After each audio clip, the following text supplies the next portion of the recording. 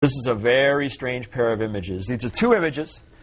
They were taken 12 days apart, and this just happened. I mean, this is going on right now. This is where Opportunity is currently parked. And you can see 12 days apart, a rock just simply appeared in front of us. In fact, we've, we've narrowed down the date of its appearance to about a four day period.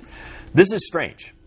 Um, now, we don't think that anything particularly exotic happened here. The most likely scenario, just uphill from this location, as we were driving on some bedrock, the Opportunity rover did a, a kind of a pirouette. We call it a turn in place, but, but drove in such a fashion that it would drag the right front wheel kind of chattering across the ground.